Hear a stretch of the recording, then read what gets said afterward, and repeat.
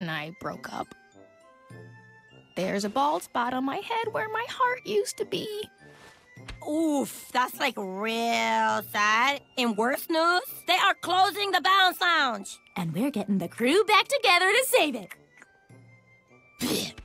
Why not? I can be despondent anywhere. All right, let's go, Kelly! Who's next? Johnny Blowhole, the party bear extraordinaire. I don't know, guys. I have a lot of partying that I have to do here. Okay, you do not look like you're the one partying. No, I'm pretty sure this is partying. When you're done, grab your mop. The commode could use some heavy duty partying. He's forgotten what partying is. They're using you, Johnny. Yeah, ditch these nerds and you need to come with us. Sorry, ladies. Johnny stays with me.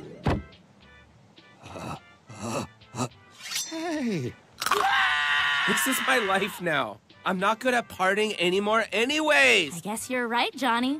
You have lost your partying powers. You probably never even had them in the first place. Oh, you lost them, Johnny Blowhole. That's weak. You guys are wrong, okay? I have my moments. Prove it. I dare you to save the Bounce Lounge. I dare you to stop me. Woo! Johnny's back! Headphone Jones, Lady Scarf Salad. Yo, wake up! What do you want? And make it quick. You're harshing the cool. They're closing the Bounce Lounge. Good. Yeah, that place hasn't been cool in months. We were getting the crew back together to save it. This is a way cooler place to party. This is partying.